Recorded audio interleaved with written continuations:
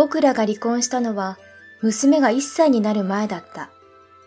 歩く前の娘を置いて離婚する僕に対して周りの目は冷たかった。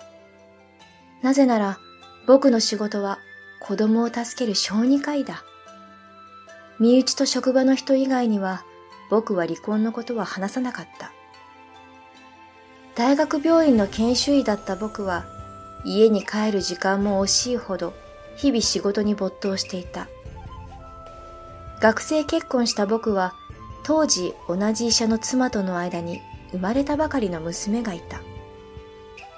妻は産休中で家にいてほとんど一人で育児をしていた。同業の妻は僕の仕事を理解してくれているはずだったのだが、ある日、家に帰ると覚悟を決めた妻がいた。机の上を見ると離婚届があった。僕は冷静になろうとしたが、離婚届の迫力に負けて、ただぼーっと机を眺め、妻が話を切り出すのをじっと待っていた。これ、わかるよね？うん。離婚届だよね。僕は真面目に答えた。意義はある？外科医の妻らしい断固とした姿勢におののく。僕は言葉が浮かばなかった。大きくため息をつくと、妻は僕がいかに夫としてダメか、こんこんと語り始めた。僕は妻が同業者なので、僕の仕事の不規則さも含め理解してくれているとすっかり信じ込んでいたのだ。それはわかってる。でもね、私も医者だよ。いつか復帰して働きたい。それなのにあなたは一度もそのことを一緒に考えもしないし、綾香の面倒だって何にもしなかったじゃない。グーの音も出なかった。その通りだったからだ。僕は仕事を言い訳にして産休中の妻に頼りきり、妻と娘をないがしろにしたのだ。でも、離婚するほどじゃ、僕が言いかけたところで、やっぱり分かってない。サインしてください。私は彩香と出て行きます。僕は圧倒されてつい、勢いに負けてサインをした。妻はあらかじめまとめた荷物と彩香を抱っこ紐で抱え、離婚届をカバンに入れると、颯爽と出て行ったのだ。晴天の霹靂というのは、こういうことか。ほんのわずかな時間で、僕は家族を失ったのだ。それから僕はずっと後悔しながら生きている。あの日から一年が経ち、僕の生活にも余裕ができた。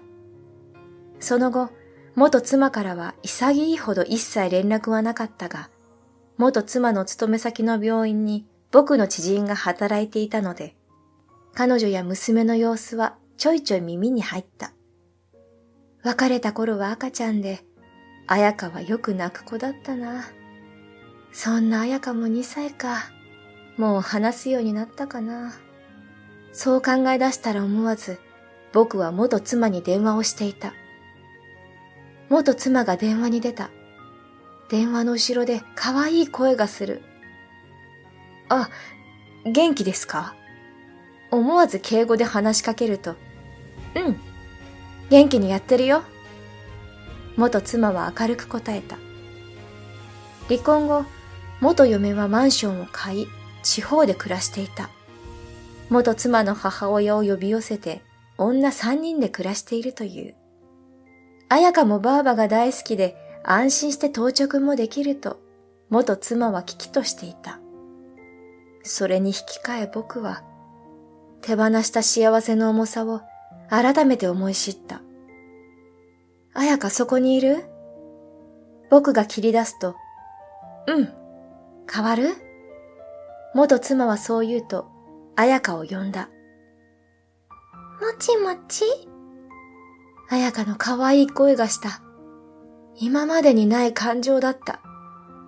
彩香ちゃん、元気ですか？僕は甘々な声で話しかける。はーい。と、彩香が言うと同時に、携帯が落ちた音がした。電話の向こうの元妻が、こらというのが聞こえる。元妻が携帯を拾い上げ、あやか、はーいって言って手を挙げて携帯を落とした。僕は思わず笑った。なんて可愛らしいんだ。無邪気な彩香のおかげで僕らの会話も弾んだ。そしてその週末、離婚後初めて僕は彩香に会えることになった。仕事では子供と接するが、一年ぶりの我が子との再会は眠れないほど緊張した。まずは好かれようとネットで検索をした。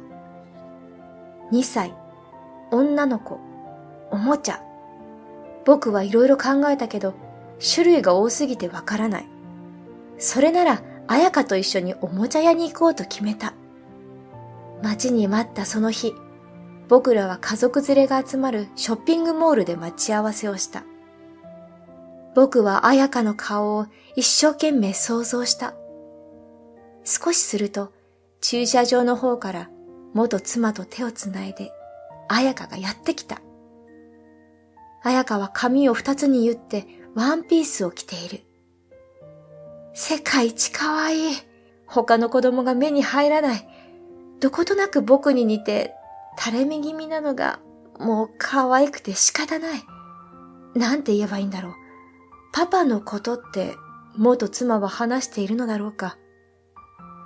僕があれこれ悩んでいると、大きな声が聞こえた。パパ？パパ？彩香は僕を指さすと、笑顔で僕に走り寄った。彩香がつまずいたので、僕はとっさに駆け寄り、彩香を抱き留めた。ふわふわで軽くて、それでいて、ずーんと重かった。大丈夫？痛いとこない？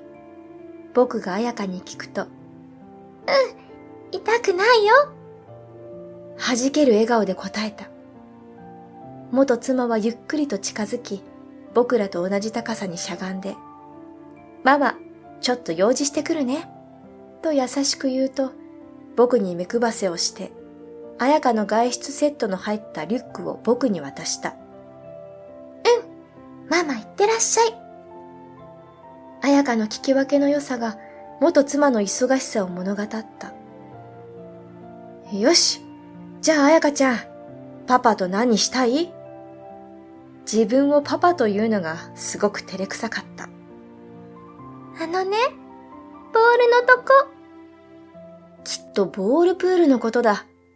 この日のために僕は、ここの施設の遊び場のことはすべてリサーチ済みだった。よし、行こうか。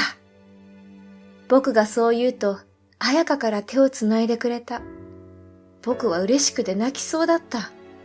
彩香の小さな手を握り、僕はこの手を二度と離さない。離したくない、と思った。それからひとしきり遊んで、二人でホットケーキを食べ、おもちゃ屋さんに行くと、大はしゃぎで人形を買った。元妻と約束の時間になると、僕の腕の中で眠ってしまった。可愛い寝顔を見て、僕はあの頃の自分の父親としての自覚のなさを猛省したのだった。元妻が迎えに来ても、彩香はまだ眠っていた。どうだった？元妻が聞くので、最高だったよ。合わせてくれてありがとう。そしてあの時は、本当にすまなかった。君は大変な思いでここまで彩香を育ててくれたんだね。本心からの言葉だった。元妻はいたずらに笑って、反省したか、やっと。と言うと、僕の横に座り、彩香の顔を覗いた。それから僕らは久々に穏やかに話をした。元妻の提案で僕は週に一度彩香に会えることになった。それから毎週休みの日は彩香のために全力を注いだ。三人で暮らしていた頃より父親っぽいことができている。彩香もテンションが上がるのか、僕と会う日は必ず最後は疲れて眠ってしまう。その日もいつも通り眠った彩香を抱えて元妻のところへ連れて行った。すると彩香が、パパ、言っちゃダメ。夢を見ているのだろうか、涙を流していた。僕は彩香をぎゅっと抱きしめ、パパはここにいるよ、と囁いた。元妻のマンションの前で、彩香を元妻に渡そうとしたら、彩香は僕の上着の袖をぎゅっと掴んで離さなかった。元妻は僕たちを見ると、ここで二人を引き離したら、私は悪者だわね。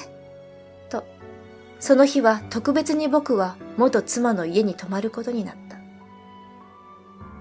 突然の僕の来訪に、元妻の母は驚きながら、僕の好きなお茶菓子をどうぞと出してくれた。服、適当に着て。僕と身長の変わらない元妻は、バサッと部屋着を投げてよこした。さすがに下着は貸せないわ。元妻は笑いながら、綾香をそっと起こした。綾香は起きるとそこに僕がいるのに気づいて、パパやったーと言って僕に抱きついた。こんな日が来るなんて、感無量だった。その日初めて彩香とお風呂に入ったが、僕は彩香にずっと笑わされっぱなしだった。パパと寝るという一言で、僕らは一緒に布団に入り、彩香が眠るまでずっと僕は絵本を読んだ。彩香の寝顔を確認すると、僕は幸せな気分で眠りについた。久しぶりに熟睡した僕は、携帯のアラームで飛び起きると、顔のすぐ近くに彩香の顔があった。パパ、おはよう。僕は夢を見ているのか。いや、夢じゃない。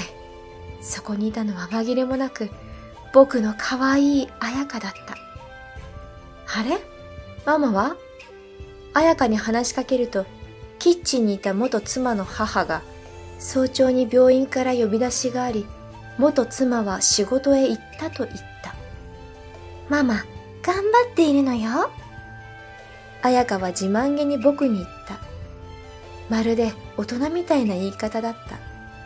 あまりの居心地の良さに僕はすっかり安心して、元妻が仕事に行くのも気づかず眠りこけていたのだ。その日は僕も仕事だったので、元妻の母にお礼を言って玄関に向かうと、後ろから彩香が僕にぎゅっと抱きついて、パパダメと言って泣き始めた。元妻の母は優しく、彩香と僕を引き離しながら、いつでも来てね、と言って、僕に手作りの弁当を持たせてくれた。